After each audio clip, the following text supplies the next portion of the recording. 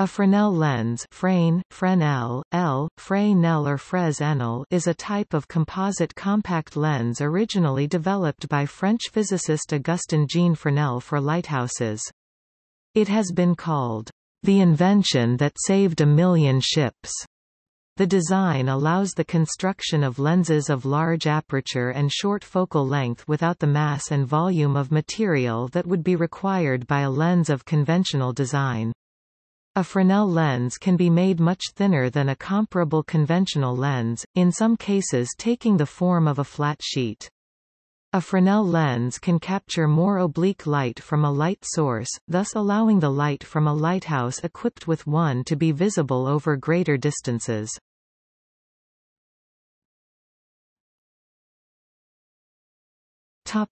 History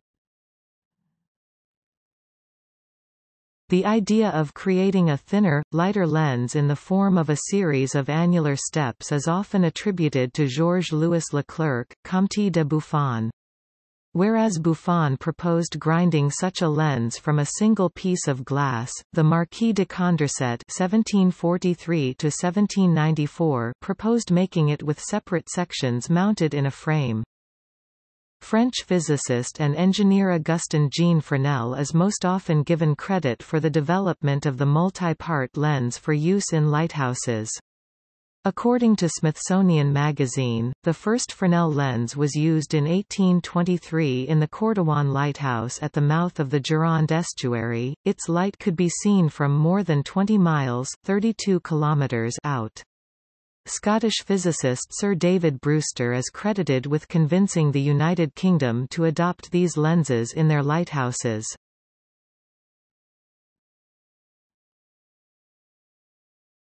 Topic. Description The Fresnel lens reduces the amount of material required compared to a conventional lens by dividing the lens into a set of concentric annular sections. An ideal Fresnel lens would have an infinite number of sections. In each section, the overall thickness is decreased compared to an equivalent simple lens. This effectively divides the continuous surface of a standard lens into a set of surfaces of the same curvature, with stepwise discontinuities between them. In some lenses, the curved surfaces are replaced with flat surfaces, with a different angle in each section. Such a lens can be regarded as an array of prisms arranged in a circular fashion, with steeper prisms on the edges, and a flat or slightly convex center. In the first and largest Fresnel lenses, each section was actually a separate prism.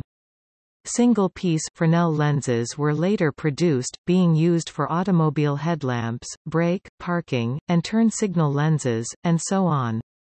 In modern times, computer-controlled milling equipment CNC might be used to manufacture more complex lenses. Fresnel lens design allows a substantial reduction in thickness and thus mass and volume of material, at the expense of reducing the imaging quality of the lens, which is why precise imaging applications such as photography usually still use larger conventional lenses. Fresnel lenses are usually made of glass or plastic, their size varies from large old historical lighthouses, meter size to medium book reading aids, OHP viewgraph projectors to small TLR, SLR camera screens, micro-optics. In many cases they are very thin and flat, almost flexible, with thicknesses in the 1 to 5 mm 0.04 to 0.2 in range. Modern Fresnel lenses usually consist of all refractive elements.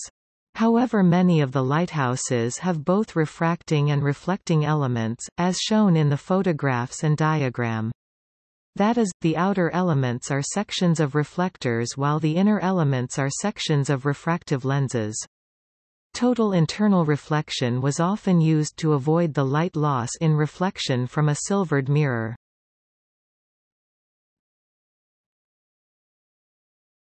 Topic: Lighthouse lens sizes. Fresnel produced six sizes of lighthouse lenses, divided into four orders based on their size and focal length. In modern use, these are classified as first through sixth order. An intermediate size between third and fourth order was added later, as well as sizes above first order and below sixth. A first-order lens has a focal length of 920 mm 36 in and a maximum diameter 2590 mm 8.5 feet high. The complete assembly is about 3.7 meters 12 feet tall and 1.8 meters 6 feet wide. The smallest sixth order has a focal length of 150 mm 5.9 in and an optical diameter 433 mm 17 in high. The largest Fresnel lenses are called hyperradiant Fresnel lenses. One such lens was on hand when it was decided to build and outfit the Makapuu Point light in Hawaii. Rather than order a new lens, the huge optic construction, 3.7 meters 12 feet tall and with over a thousand prisms, was used there.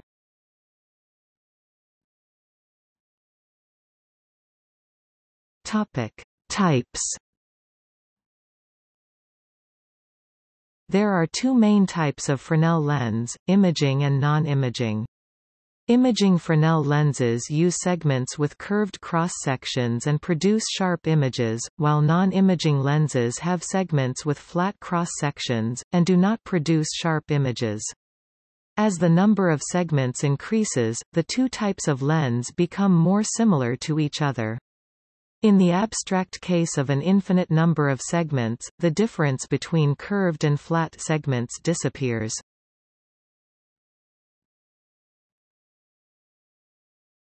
Topic: Imaging. Spherical a spherical Fresnel lens is equivalent to a simple spherical lens, using ring-shaped segments that are each a portion of a sphere, that all focus light on a single point. This type of lens produces a sharp image, although not quite as clear as the equivalent simple spherical lens due to diffraction at the edges of the ridges. Cylindrical a cylindrical Fresnel lens is equivalent to a simple cylindrical lens, using straight segments with circular cross-section, focusing light on a single line. This type produces a sharp image, although not quite as clear as the equivalent simple cylindrical lens due to diffraction at the edges of the ridges.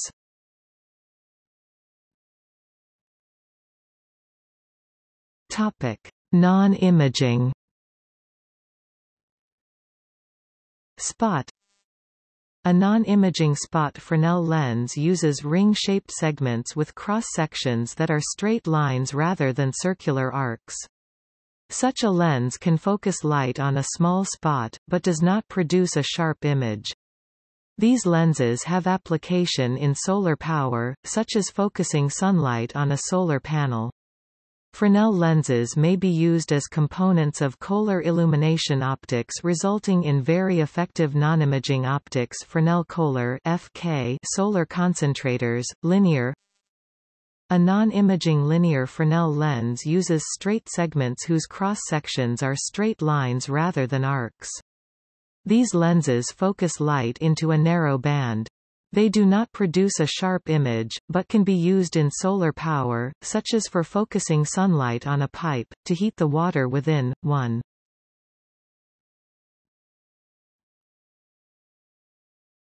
Topic. Uses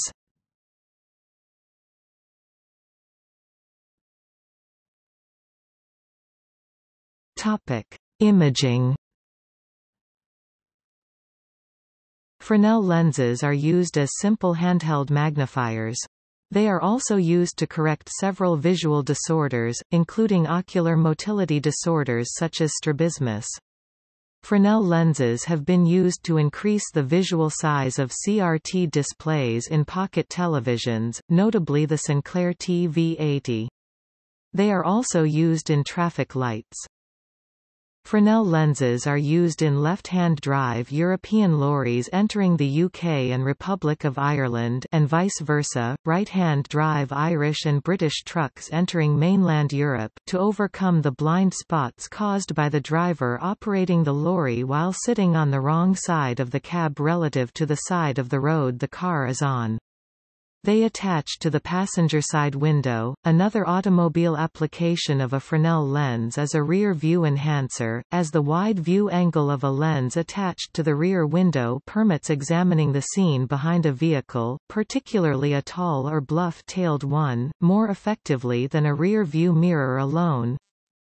Multifocal Fresnel lenses are also used as a part of retina identification cameras, where they provide multiple in and out of focus images of a fixation target inside the camera.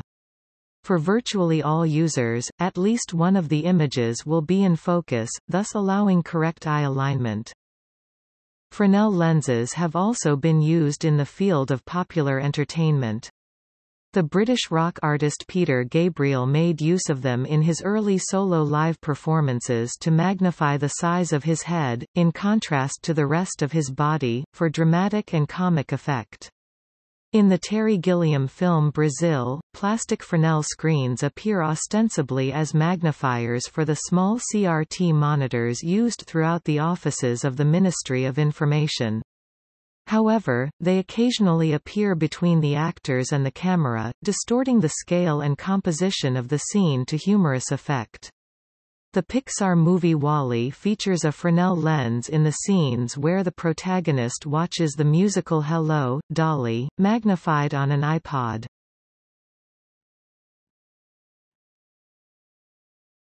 Topic. Photography Canon and Nikon have used Fresnel lenses to reduce the size of telephoto lenses. Photographic lenses that include Fresnel elements can be much shorter than corresponding conventional lens design. Nikon calls their technology phase Fresnel. The Polaroid SX70 camera used a Fresnel reflector as part of its viewing system. View and large format cameras can utilize a Fresnel lens in conjunction with the ground glass, to increase the perceived brightness of the image projected by a lens onto the ground glass, thus aiding in adjusting focus and composition.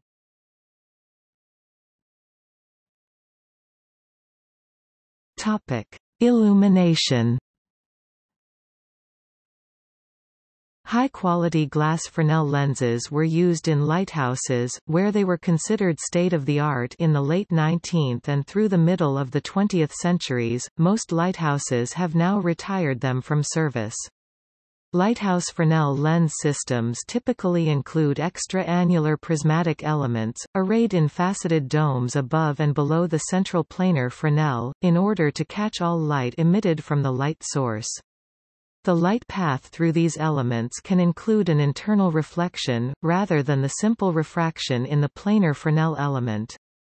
These lenses conferred many practical benefits upon the designers, builders, and users of lighthouses and their illumination. Among other things, smaller lenses could fit into more compact spaces. Greater light transmission over longer distances, and varied patterns, made it possible to triangulate a position. Perhaps the most widespread use of Fresnel lenses, for a time, occurred in automobile headlamps, where they can shape the roughly parallel beam from the parabolic reflector to meet requirements for dipped and main beam patterns, often both in the same headlamp unit such as the European H4 design. For reasons of economy, weight, and impact resistance, newer cars have dispensed with glass Fresnel lenses, using multifaceted reflectors with plain polycarbonate lenses. However, Fresnel lenses continue in wide use in automobile tail, marker, and reversing lights. Glass Fresnel lenses also are used in lighting instruments for theater and motion pictures see Fresnel lantern, such instruments are often called simply Fresnels. The entire instrument consists of a metal housing, a reflector, a lamp assembly, and a Fresnel lens. Many Fresnel instruments allow the lamp to be moved relative to the lens focal point, to increase or decrease the size of the light beam.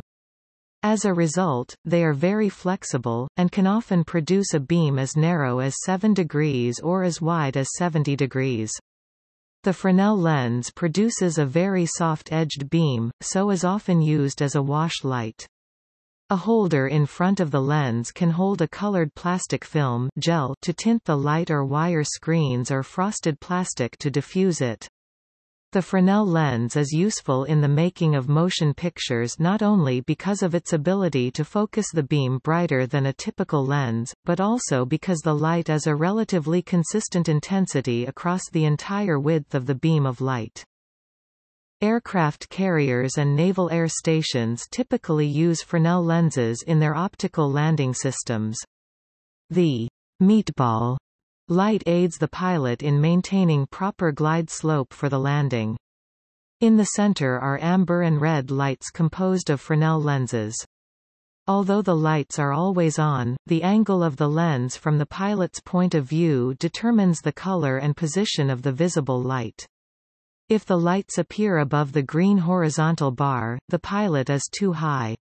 If it is below, the pilot is too low, and if the lights are red, the pilot is very low. The Fresnel lens has seen applications for enhancing passenger reading lights on Airbus aircraft. In a dark cabin, the focused beam of light does not dazzle neighboring passengers.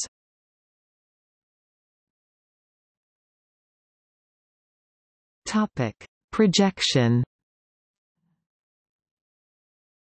The use of Fresnel lenses for image projection reduces image quality, so they tend to occur only where quality is not critical or where the bulk of a solid lens would be prohibitive. Cheap Fresnel lenses can be stamped or molded of transparent plastic and are used in overhead projectors and projection televisions. Fresnel lenses of different focal lengths one collimator, and one collector are used in commercial and DIY projection. The collimator lens has the lower focal length and is placed closer to the light source, and the collector lens, which focuses the light into the triplet lens, is placed after the projection image an active matrix LCD panel in LCD projectors. Fresnel lenses are also used as collimators in overhead projectors.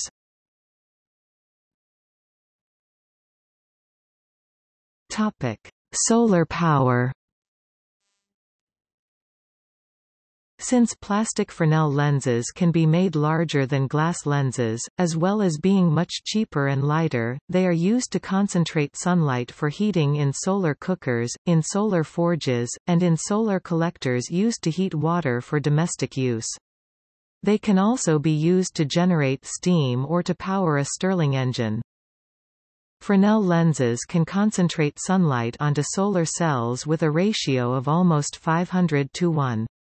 This allows the active solar cell surface to be reduced, lowering cost and allowing the use of more efficient cells that would otherwise be too expensive. In the early 21st century, Fresnel reflectors began to be used in concentrating solar power CSP plants to concentrate solar energy. One application was to preheat water at the coal-fired Liddell Power Station, in Hunter Valley, Australia. Fresnel lenses can be used to sinter sand, allowing 3D printing in glass.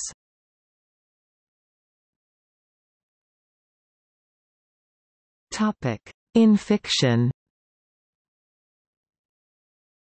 The English children's fantasy television series Shadows features an episode, The Other Window, in which a scientist places a Fresnel lens on a window of his home, and his children and his mother are able to see visions of their ancestors in previous centuries in it. In the horror manga Uzumaki by Junji Ito, the concentric patterns of the Fresnel lens of a lighthouse are melted by heat and form a spiral. A subplot in Jimmy Buffett's novel A Salty Piece of Land follows the character's efforts to find a Fresnel lens to refurbish a Bahamian lighthouse. A Fresnel lens is featured in the 2016 film To Keep the Light wherein a lighthouse keeper's wife fulfills her husband's duties.